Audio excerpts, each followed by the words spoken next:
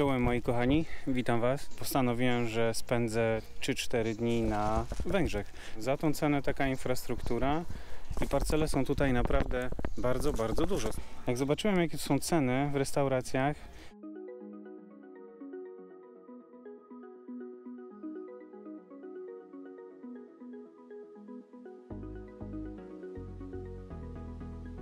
Wybierasz się pod namiot do Węgier? Na kanale Travel Pasja testujemy europejskie kempingi. Kanał Travel Pasja to także relacje z naszych wycieczek samochodem po Europie, w których opowiadamy o odwiedzonych miejscach, wsiach i miasteczkach zlokalizowanych w pobliżu kempingów, ale przede wszystkim prowadzimy krok po kroku do samodzielnej organizacji podróży. O tym, jak przygotować się od A do Z do podróży samochodem z Polski do Węgier i jakie wiążą się z tym wszystkie koszty, opowiadamy w filmie Samochodem z Krakowa do Chorwacji przez Słowację i Węgry. Link do filmu powinien wyświetlić się teraz w prawym górnym rogu ekranu. Cześć, na imię mam Konrad i uwielbiam europejskie kempingi. Zapraszam na relację z mojego pobytu na kempingu Napfeni nad jeziorem Balaton na Węgrzech. Jeśli chcesz zobaczyć relacje z pobytu na innych europejskich kempingach, zachęcam Cię do subskrypcji kanału. Ok, jedźmy już na kemping. W drodze powrotnej z półwyspu Pelieszac postanowiłem wrócić do Polski tak samo jak 20 dni wcześniej dotarłem do Chorwacji, czyli przez Słowację i Węgry. Jadąc o Rebicza podjechałem do wsi Briesta, z której prowadzi jeden z najnowszych i najpiękniejszych mostów Chorwacji, omijając jednocześnie znacznie dłuższą drogę przez Bośnię i Hercegowinę. Most w dniu mojego wyjazdu z półwyspu Pelieszac miał być otwarty i niestety nie był. Huczne otwarcie mostu co prawda zapowiedziane było na dzień mojego wyjazdu, ale dopiero o północy, a ja na most dotarłem już przed południem. Aby nie stracić 12 godzin w oczekiwaniu na imprezę połączoną z otwarciem mostu dla ruchu kołowego, pojechałem w kierunku Maliston, a dalej w kierunku Chorwacji przez miasto Neum w Bośni i Hercegowinie.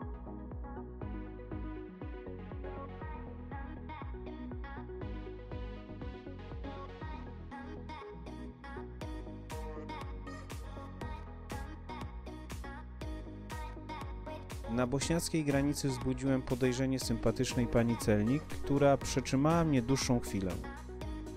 Może powodem było to, że po Europie podróżuję zupełnie sam? Wypytała mnie o alkohol, papierosy oraz skąd jadę, gdzie jadę i co mam w bagażniku. W pewnym momencie nastał moment konsternacji i poczułem, że lada moment każe mi zjechać na parking celem przeszukania pojazdu. A to wiązałoby się ze znaczną stratą czasu. Po chwili ciszy celniczka zadała ostatnie pytanie, czy zatrzymałem się na terenie Bośni w trakcie powrotu z Chorwacji. Odparłem, że nie miałem takiej potrzeby, bowiem auto zatankowałem na półwyspie Pelieszac niedługo po opuszczeniu kempingu nieopodal Orebicia, choć patrząc na bardzo dobrą cenę paliwa w Neum, nie był to jednak najlepszy wybór. I to zdanie prawdopodobnie było przełomowe.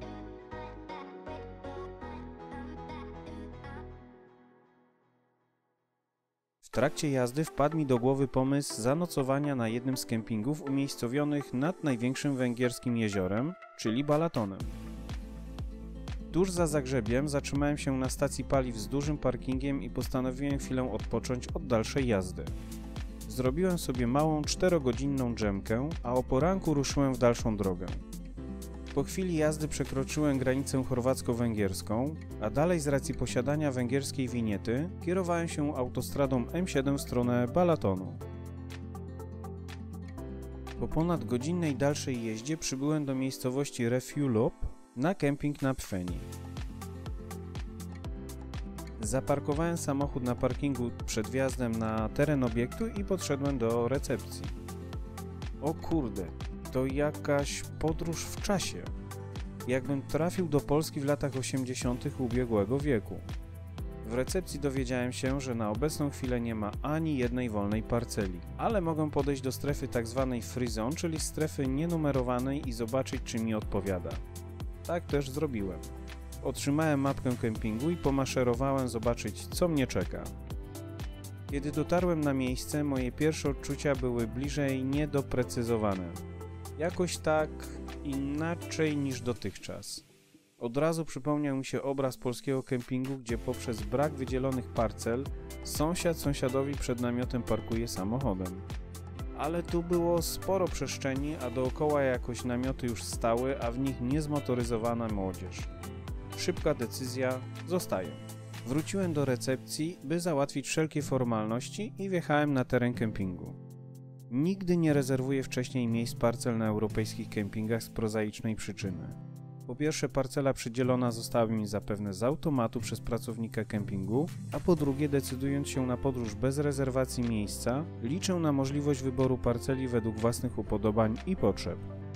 Taka forma odpowiada mi zawsze zdecydowanie najbardziej, ale mimo wszystko zachęcam Was jednak do wcześniejszej rezerwacji miejsc na europejskich kempingach, zwłaszcza jeśli planujecie dłuższy pobyt, np. tygodniowy. Kempingi w Europie w ostatnich latach przeżywają boom popularności. Rodzinny kemping na Pfeni o powierzchni około 8 hektarów zlokalizowany jest u stóp jeziora, bezpośrednio przy plaży na północnym wybrzeżu Balatonu w pobliżu miejscowości Refiulop i jednocześnie blisko terenu spinaczkowego w sąsiedztwie szlaków turystycznych regionu Kalibasin.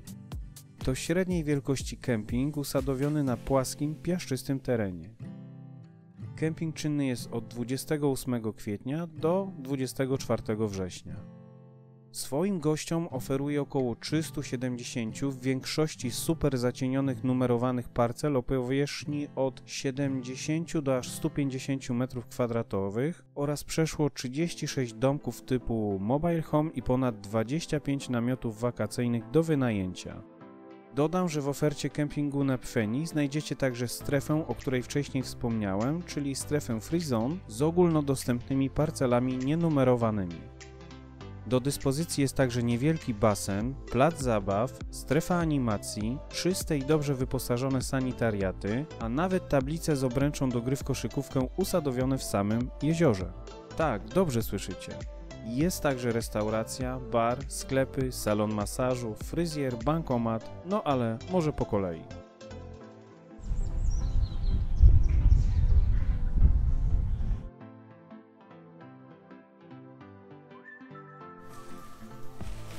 Z racji całkowitego braku wolnych parcel numerowanych zmuszony byłem skorzystać ze strefy Free Zone. Dziś mogę jasno powiedzieć, że nocleg w tejże strefie parcel nienumerowanych był całkiem w porządku. Moja parcela miała nieokreśloną bliżej powierzchnię, ale mimo to sąsiedzi zachowali przyzwoitą odległość w trakcie rozbijania swoich namiotów. A więc tak na oko miałem około 60 m2 powierzchni do własnej dyspozycji. Absolutnie wystarczająca ilość miejsca jak dla samochodu i małego namiotu. Namiot usadowiłem przodem do jeziora i które skutecznie zasłoniły widok na Balaton. Okej, okay, ciekawego widoku nie miałem żadnego, ale za to rechot żab i odgłosy ptactwa, zwłaszcza o poranku skutecznie umilały mi pobyt na kempingu na Pfeni. W końcu coś innego. Coś, czego nie miałem na żadnym z kempingów w trakcie samochodowej podróży wzdłuż wybrzeża Chorwacji. I to tyle. Moja parcela poza jednym drzewem nie była zupełnie zacieniona. Zresztą taka w większości jest strefa Frizon, czyli dość słabo zacieniona. Do kempingowej plaży miałem około 70 metrów i tyle samo do toalet i pryszniców. Stolik postawiłem obok namiotu, a na nim postawiłem czajnik, opiekacz i oczywiście ekspres do kawy. Wszystko podłączyłem do słupa prądowego zlokalizowanego około 8 metrów od mojego namiotu. Aby podpiąć się do prądu 230V na kempingu na Pfeni, musicie posiadać specjalną przejściówkę, czyli adapter CEE e oraz przedłużacz o długości 25 metrów. W strefie Free Zone słupy prądowe występują co kilkanaście metrów, zatem zabierzcie ze sobą przedłużacz o długości co najmniej 25 metrów oraz oczywiście adapter CEE. E. W strefie Free Zone nie ma dostępu do wody. Jest dostęp do sieci Wi-Fi i jest on dodatkowo płatny. Dla przykładu, jedna godzina korzystania z Wi-Fi to koszt 900 forintów węgierskich. Witam Was dzisiaj. Przyjechałem, przyjechałem z Orebicza, w zasadzie z, pod samej Korczuli. E, Przejechałem całą Chorwację i dzisiaj jestem w innej e, szerokości geograficznej. Mianowicie jestem na Węgrzech, zmierzam już w kierunku Polski powolutku. Postanowiłem, że spędzę 3-4 dni na Węgrzech, żeby zobaczyć jak tu wszystko wygląda, jak te kempingi e, wzdłuż Balatonu e, wyglądają i powiem Wam, pomijając cenę, bo cena jest niska jak diabli w stosunku do tego, co płaciłem w Chorwacji, czterokrotnie niższa nawet. Za tą cenę taka infrastruktura, e, dużo sanitariatów, bardzo czystych, dość nowocześnie. E, No, dużo zieleni, trawa przede wszystkim, trawa, Boże, ja ostatnio widziałem tylko skały. Postawiłem swój hotel dosyć szybko, bo była przerwa między 13 a 15, w związku z czym nie miałem jak wjechać na kemping, więc zrobiłem sobie taki camping tour, camping walking tour, żeby zobaczyć jak wyglądają parcele. I parcele są tutaj naprawdę bardzo, bardzo dużo, słuchajcie. Od około 60 metrów kwadratowych aż do 150, więc jak na taki kemping, który nie jest kempingiem pięciogwiazdkowym w, we Włoszech czy w Chorwacji, to uważam, że bardzo duże parcele. Zresztą ja teraz jestem na takiej parceli, gdzie nie ma parceli, czyli jest to takie jakby miejsce mm, nienumerowane. Bo słuchajcie, pani mi zaproponowała, że jeżeli mi się podoba takie miejsce jak tu, czyli nie numerowane, to, to, to po prostu mogę zostać, ewentualnie przyjechać za dwa dni, powinno się, powinna się zwolnić jedna parcela, bo to jej wynikało z systemu. No, także dwa dni nie będę gdzieś e, czekał. E, Postanowiłem, że dzisiaj w takich okolicznościach oto przyrody e, będę nocował i zobaczymy co dalej. Mm, Powiem Wam, plaża też tu jest bardzo uporządkowana, ładny kolor balatonu, ładny kolor samej wody, samego jeziora. Na razie jestem pod wrażeniem i powiem szczerze, niedaleko od Polski. A to moja mini parcela. Znaczy ona wcale nie jest taka mini, słuchajcie. Tylko nie wiem, gdzie jest jej początek, a gdzie koniec. Więc mam to w nosie. Po prostu tutaj wszyscy się rozstawiają jak chcą. I tak to wygląda, zobaczcie.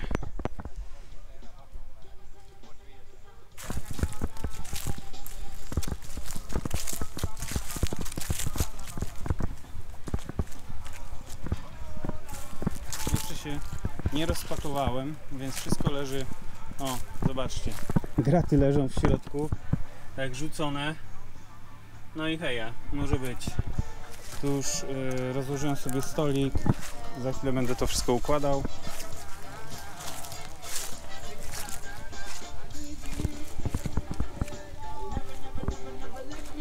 A moja okolica jest taka, że mam tutaj obok po lewej stronie boisko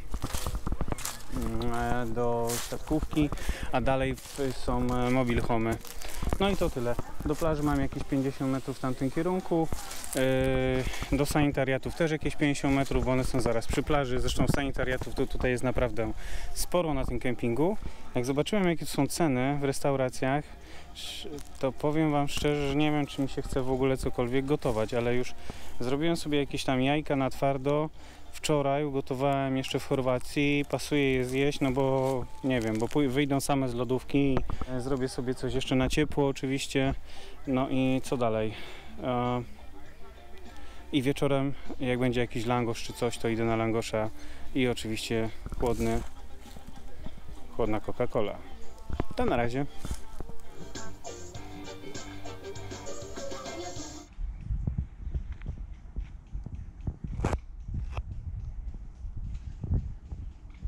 Oto moje śniadaneczko, czyli jajka ugotowane wczoraj. Tu sobie zrobię zapiekankę z e, pieczywa chorwackiego, jedzonego na Węgrzech. Ja już Wam o tym, ja już wam o tym mówiłem, że najlepiej pije się e, piwo e, francuskie kupione we Włoszech, wypite w Chorwacji, nie? To tak samo jest z tym pieczywem. Wszystko mnie piecze, muszę jej wykąpać. Spokój, cisza, tanio, dobra infrastruktura, bardzo czyste łazienki. Super. No, naprawdę super. Więc co pozostaje na tą chwilę?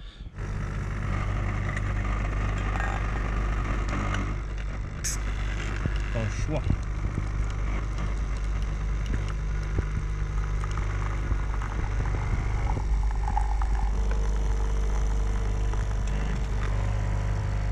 Podniesiemy trochę, bo klapie.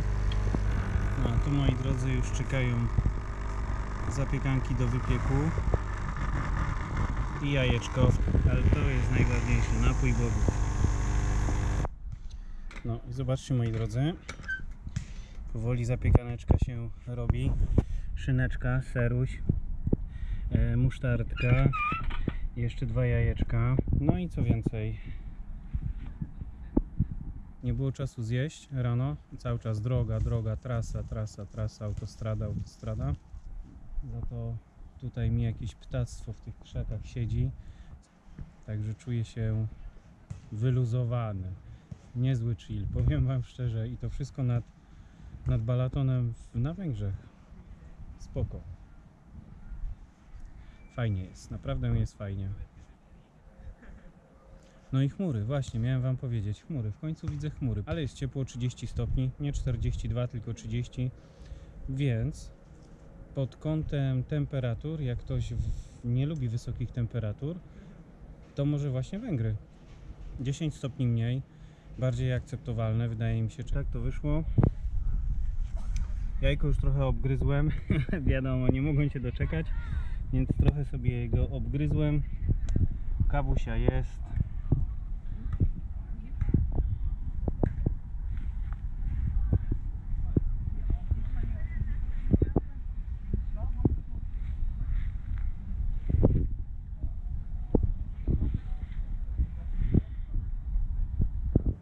Moi drodzy, jeżeli zastanawiacie się, jaka jest różnica taka główna, wydaje mi się, yy, pomiędzy Chorwacją a na przykład Węgrami, no to widać to na załączonym obrazku. Zobaczcie na niebo.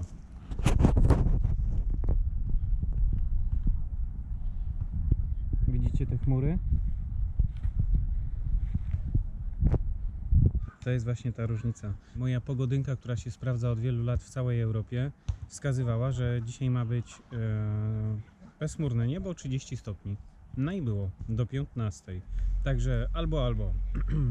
albo Chorwacja i bezchmurne niebo 40 plus, albo Węgry pochmurne niebo od czasu do czasu, znaczy nie wiem jak często, bo dopiero jestem od rana i 30 plus, ale za to dużo niższe ceny i przyzwoita infrastruktura. Bardzo przyzwoita infrastruktura.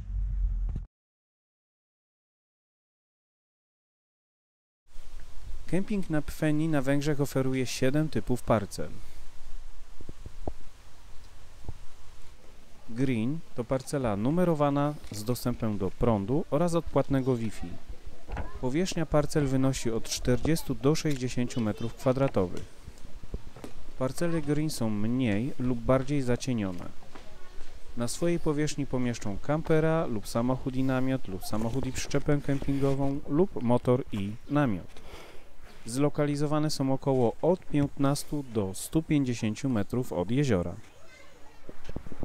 Brown to parcela numerowana z dostępem do prądu oraz odpłatnego Wi-Fi. Powierzchnia parcel wynosi od 40 do 70 m2. Parcele Brown są przyzwoicie zacienione. Na swojej powierzchni pomieszczą kampera lub samochód i namiot lub samochód i przyczepę kempingową lub motor i namiot. Zlokalizowane są od 70 do 90 metrów od jeziora. Parcela Blue to parcela numerowana z dostępem do prądu oraz odpłatnego Wi-Fi. Powierzchnia parcel wynosi od 70 do 90 m2.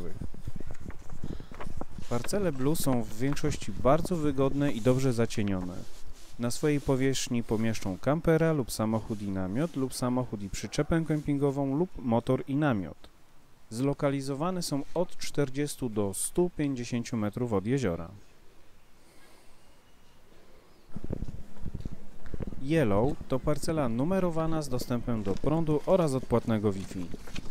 Powierzchnia parcel wynosi od 90 do aż 110 m2. Parcele Yellow są dobrze zacienione. Na swojej powierzchni bez problemu pomieszczą kampera lub samochód i namiot, lub samochód i przyczepę kempingową, lub motor i namiot. Zlokalizowane są zarówno tuż przy samej plaży, jak i około do 130 metrów do jeziora.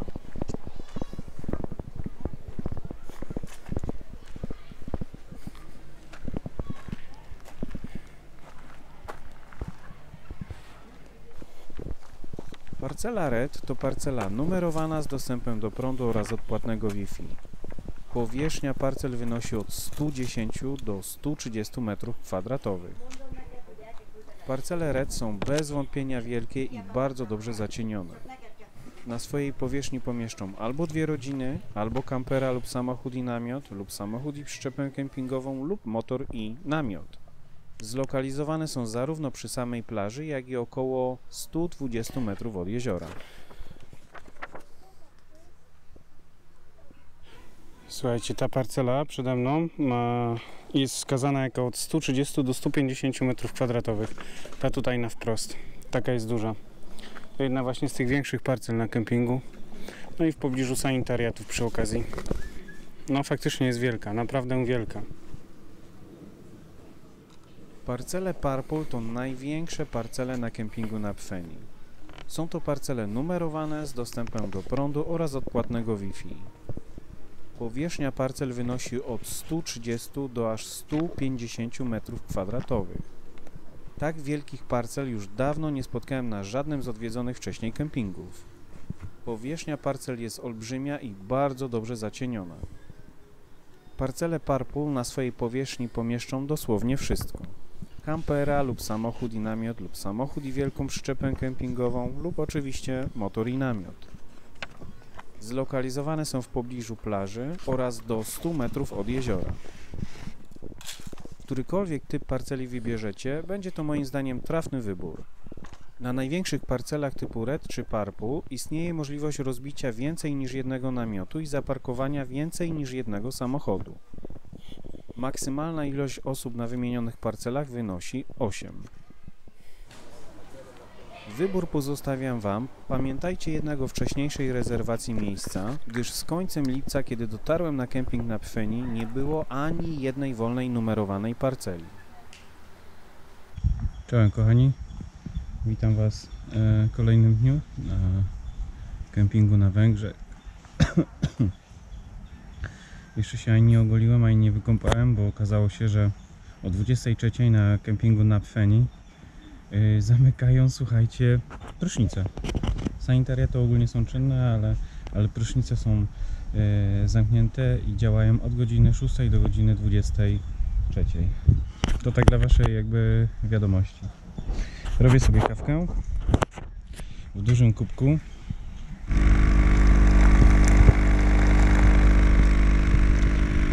Takich okolicznościach dzisiaj. Poranek z chmurką, ale słońce się już e, pojawiło. Już je widać, także fajnie.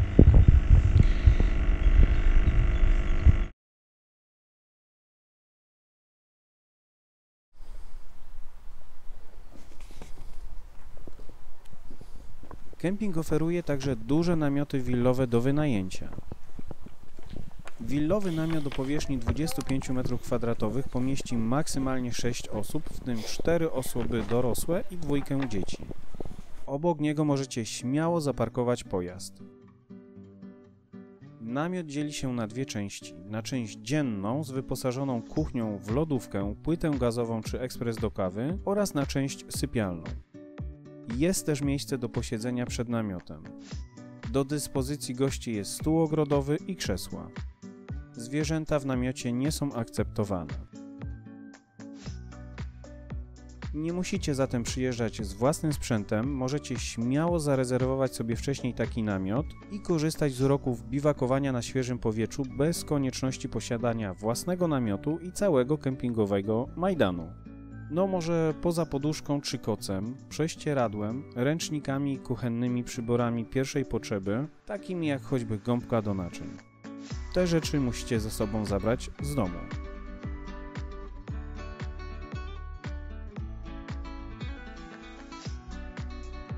Na Pfeni oferuje trzy typy domków Mobile Home. Domki o powierzchni od 24 do 40 m2 obejmują część wypoczynkową z sofą, telewizorem i dostępem do kanałów telewizji satelitarnej oraz wyposażoną kuchnię ze stołem. Oczywiście dostęp do prądu, gazu i wody. Łazienki wyposażone są w prysznice.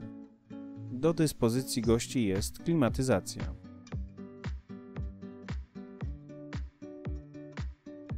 Domek typu Sun Cool. Powierzchnia domku 24 m2 dla maksymalnie 4 osób dorosłych i dwójki dzieci.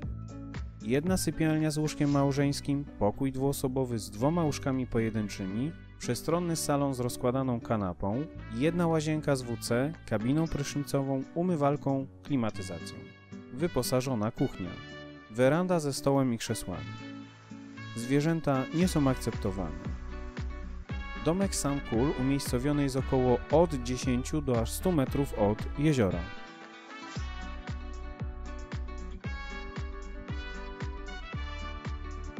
Domek typu Eurocomfort.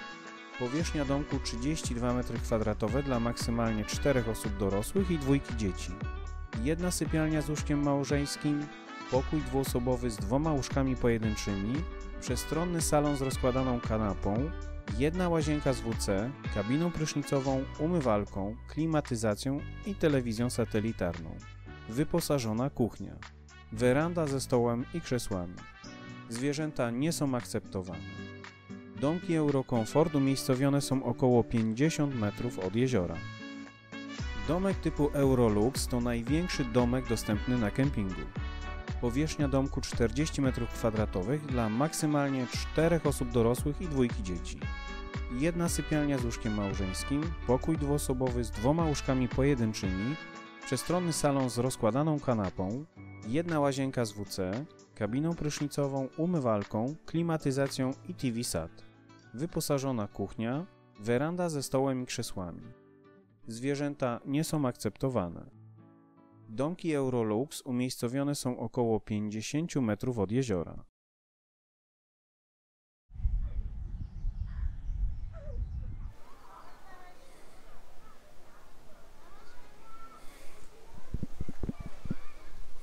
Kemping oferuje bezpośredni dostęp do plaży i jeziora Balaton. Plaża z dużym obszarem zadbanego, szerokiego trawnika to bez wątpienia zaleta nad Pfennig. Bardzo przyzwoite miejsce dla chcących odpocząć nad węgierskim morzem.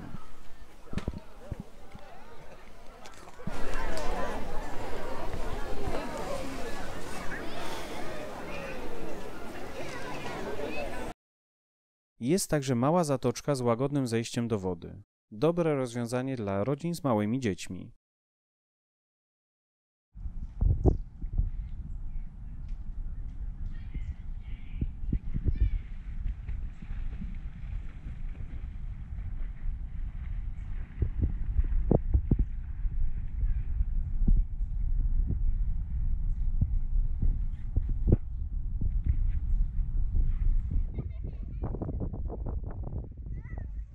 Główna plaża ma zejście do jeziora po metalowych schodkach i ma ponad 200 metrów długości oraz około 15 metrów szerokości. Na końcu plaży znajduje się pływający drewniany pomost, z którego istnieje możliwość łowienia ryb, a wzdłuż całej jej długości ciągnie się spacerowa ścieżka wyłożona betonowymi płytami. Z kolei w jeziorze umieszczono m.in. tablice z obręczami do wodnej gry w koszykówkę. Psy na głównej plaży są niedozwolone.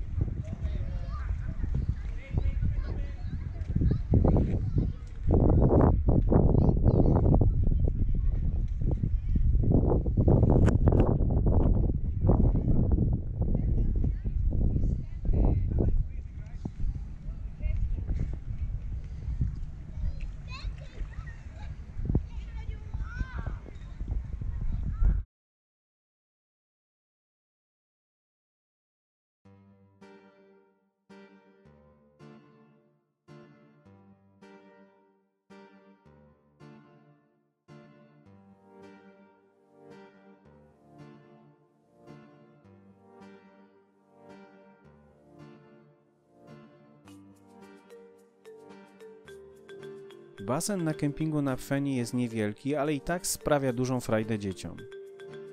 Jego głębokość to zaledwie około 50 cm.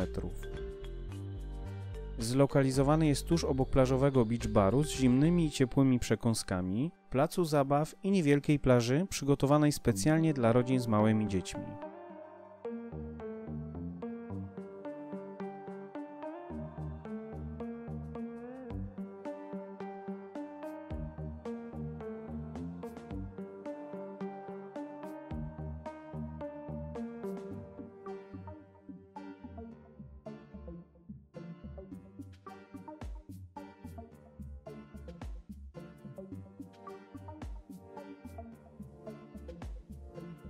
Pobliżu basenu zaaranżowano dość duży plac zabaw dla najmłodszych biwakowiczów z licznymi atrakcjami.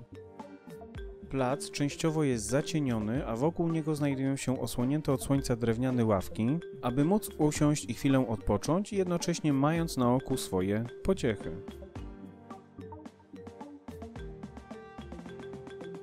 Plac zabaw wygląda ładnie, nowocześnie i kolorowo, a to wszystko z bezpośrednim widokiem na Balaton.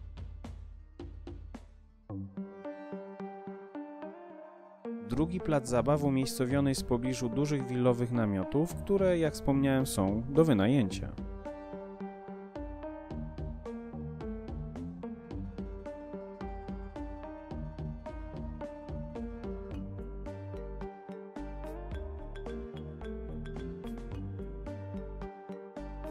Na terenie Napfeni znajdziecie niewielkie boisko do piłki nożnej, koszykówki wodnej, jest także wygodne boisko do siatkówki plażowej, są stoły do tenisa stołowego, czyli ping-ponga, trampolina dla dzieci oraz niewielka scena, na której w sezonie wakacyjnym organizowane są animacje dla dzieci i dorosłych. Jest także wypożyczalnia rowerów tradycyjnych, rowerów wodnych, supów i kajaków, mini samochodów elektrycznych oraz go-kartów. Możecie również zagrać w minigolfa. Dodam, że dookoła niemalże całego jeziora Balaton ciągną się liczne, dobrze przygotowane ścieżki pieszo-rowerowe.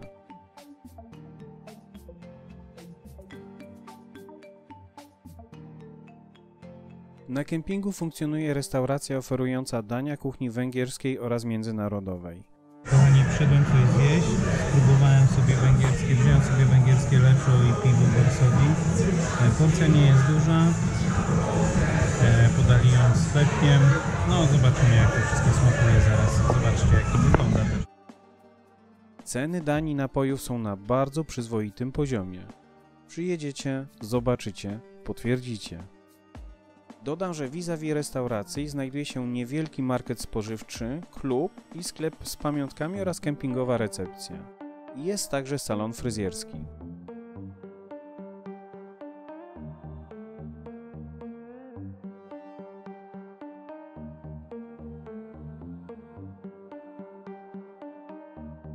Dobra, a jak wyglądają toalety i prysznice na węgierskim kempingu?